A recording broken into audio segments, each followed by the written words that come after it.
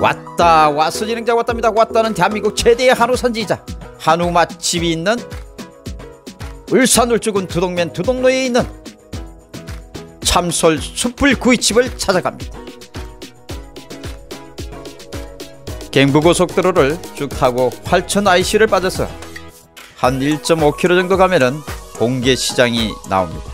바로 그 옆에 오늘 제가 찾아가는 참솔 숯불 구이집이 있습니다. 물어서 물어서 최고의 한우 맛집이 바로 이곳이다. 어렵게 찾았습니다. 일행들을 접하기 위해서 식당 안으로 쭉 들어가니까 이렇게 연애 형태로 10명 20명이 들어갈 수 있는 홀들이 쭉 있습니다. 그리고 저희는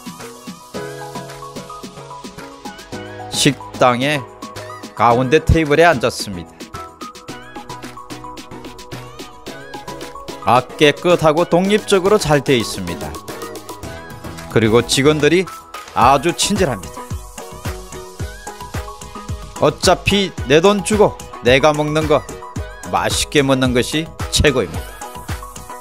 아 일행들이 있네요. 이미 오다를 해놨나요? 맛있게 먹겠습니다. 한우를 갓 잡은 고기를 바로 놨습니다.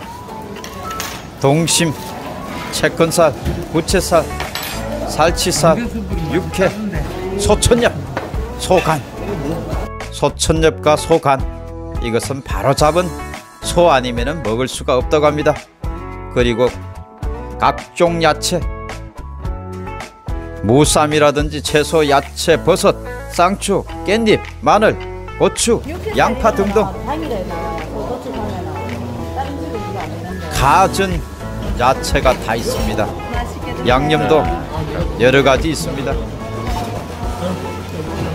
소천젓과 소간에 맞는 양념 그리고 소고기에 맞는 양념 쭉 다 나왔습니다. 이렇게 맛있게 먹어봤습니다. 일단은 반주는 소주와 하랑을 택했습니다. 이쪽 지역에 잘 나가는 유명한 이 반주가 화랑이라고 합니다. 그래서 화랑을 시켰습니다.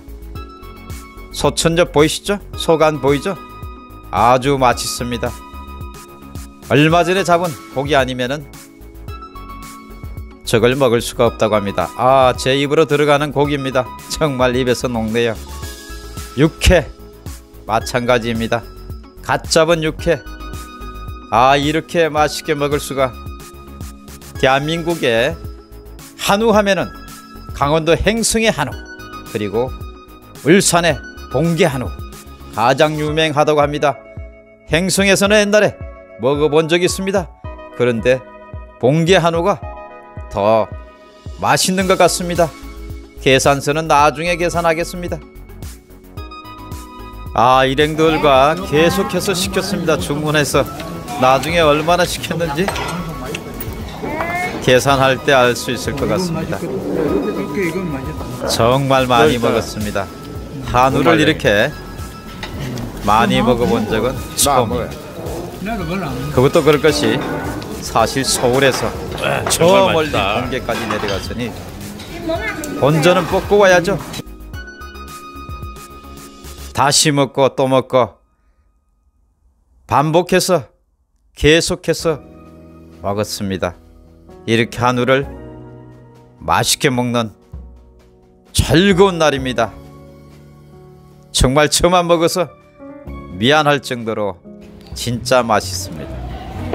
어, 한우 고기를 다 먹고